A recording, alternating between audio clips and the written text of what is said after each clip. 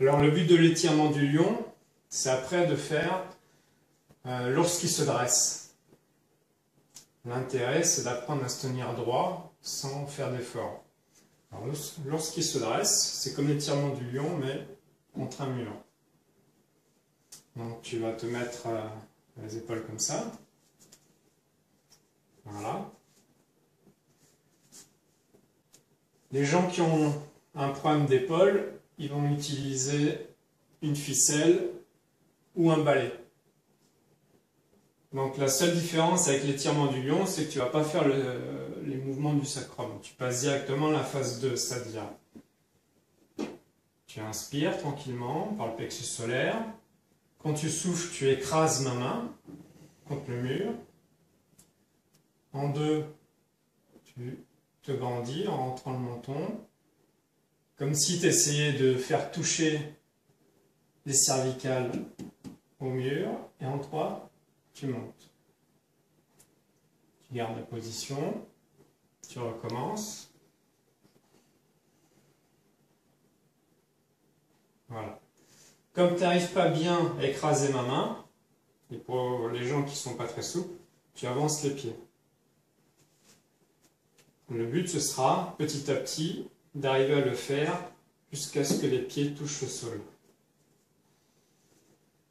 Vas-y. Voilà, là, on sent que tu écrases. Tac. Et tu montes.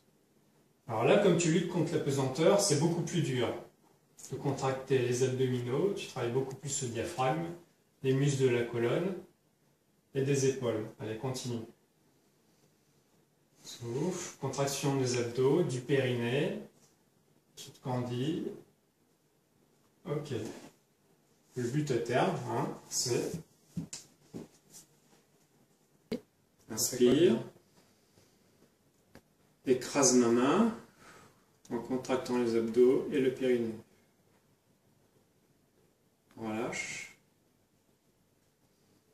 Encore. Le menton, tu grandis à chaque fois et tu montes. après, rien ne t'empêche de rajouter la tortue ninja pour aider à te grandir.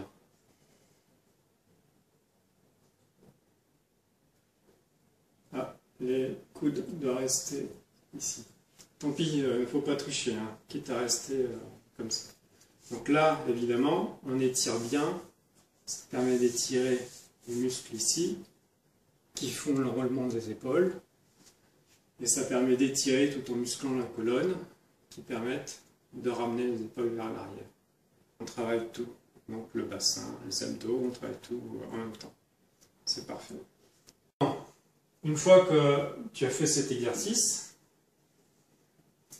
tu, auras la force musculaire suffisante pour tenir droit, bien debout quand tu parles avec les gens. Première chose à faire, c'est de bien placer le bassin. Alors pour ça, il faut serrer les fesses pour savoir si elles sont serrées, il faut qu'elles soient dures. Voilà. Si on n'arrive pas à les rendre dures, il faut imaginer que tu rapproches, tu t'ancres dans le sol et que tu rapproches les talons sans le faire véritablement.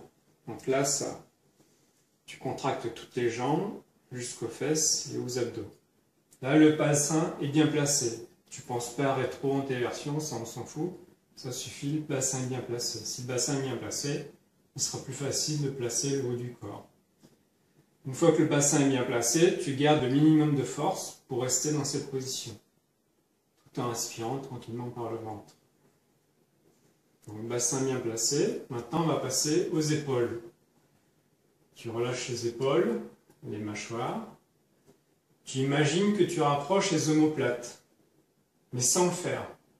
Parce que si tu le fais, tu vas te contracter. Voilà, tout en pensant à aspirer. Et tu imagines que tu rentres le menton sans le faire. Donc, on ne se tient pas droit comme les militaires, sinon on creuse les cervicales, on aggrave toutes les courbures. On se tient droit comme les athlètes, en rentrant le menton sans que ça se voie. Ok Si on était tiré par un fil. On récapitule. On serre les fesses.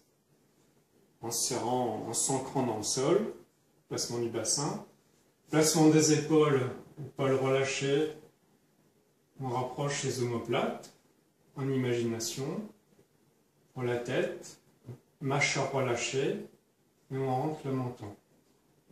Voilà. Et puis, tout en inspirant par le ventre, au début, on s'entraîne à parler avec les gens. Une fois qu'on arrive à faire ça, on pourra le faire en marchant, puis en courant. Et là, tu es dans la bonne position, ton équilibre est parfait. C'est-à-dire si je passais euh, un fil à plomb qui passe ici, au niveau de la base du crâne, il tombe pile ici.